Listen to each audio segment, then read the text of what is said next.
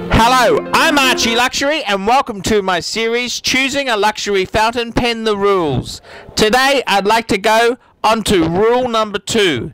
And rule number two is simple brand name is everything. That's right, when it comes to luxury, you want a fucking prestigious brand. And when it comes to fountain pens, you want a fuck off fountain pen with a fuck off name to fuck off all your friends and co workers. And uh, you got to do a bit of research into it. But uh, a great name in fountain pens, uh, there's always Mont Blanc. Mont Blanc is sort of a, it's sort of the equivalent of Rolex or Tag Heuer. Everyone knows the brand and uh, shocking value for money and uh, well known but overdone. Specialized brands are like brands like Omas, Montegrappa. Those are great brands.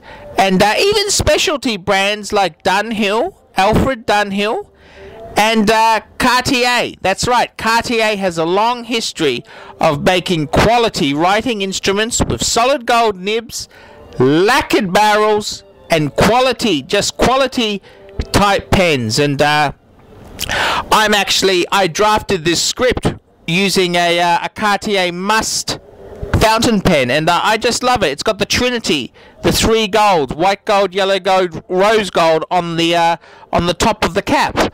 And uh, it's just beautiful. Brand name is everything with fountain pens. Obscure brands are dog shit.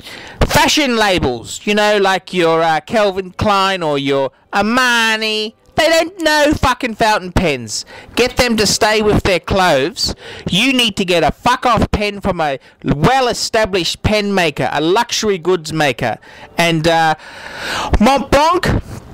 Mont Blanc is the easy choice, of course. There's many, many good brands out there. And uh, often it's a great idea to go into the high street retail store and see what you like there.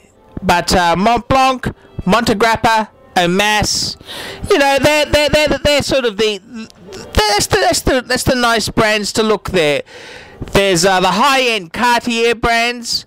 There's the uh, high-end Parker. The Duofold series is quite nice, and uh, it's very important you get a brand name. It's the most important thing. Brand name, brand name, brand name, and uh, I can't stress that enough.